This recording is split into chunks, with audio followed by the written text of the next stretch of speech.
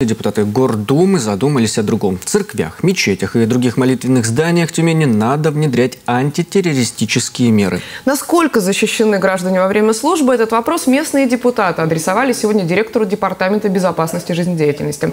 Еще они поинтересовались, почему за массовыми религиозными мероприятиями никто не следит. Система наружного видеонаблюдения, не внутреннего, а наружного, она установлена.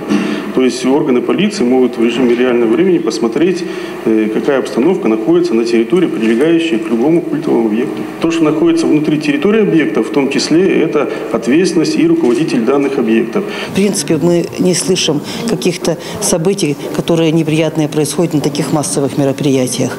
Но, может быть, что-то будет новое развиваться.